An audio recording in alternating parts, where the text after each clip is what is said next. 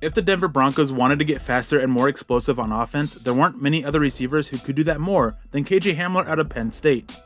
The explosive playmaker just turned 21 on July 8th, and he has the potentially long career ahead of him. He entered the NFL through Penn State, where he didn't have the best quarterbacks to work with. His college tape is filled with explosive plays showing his speed and playmaking ability. In two years, he had 98 catches, over 1,600 yards, and 13 touchdowns as a receiver, and another touchdown as a rusher. One of the biggest knocks on Hamler is his hands and how inconsistent they can be with drops, due to bad technique and poor focus. He also is a little small, limiting him to the slot in the NFL. His explosive play ability is highlighted by his 16.9 yards per reception he averaged in college. He can take short catches and make something happen, or attack the safeties deep down the field.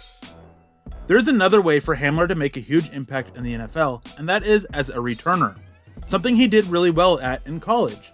The speed is there for it, but he also has the size to get lost in the chaos of returns.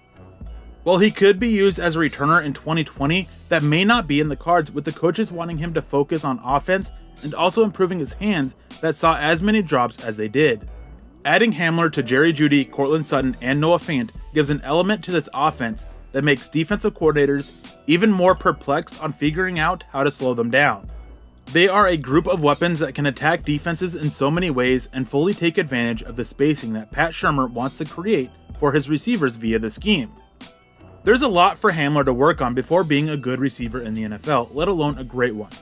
However, the traits he has will create an impact on offense even without getting the ball to his hands. For Mile High Huddle and Sports Illustrated, I'm Erick Trickel.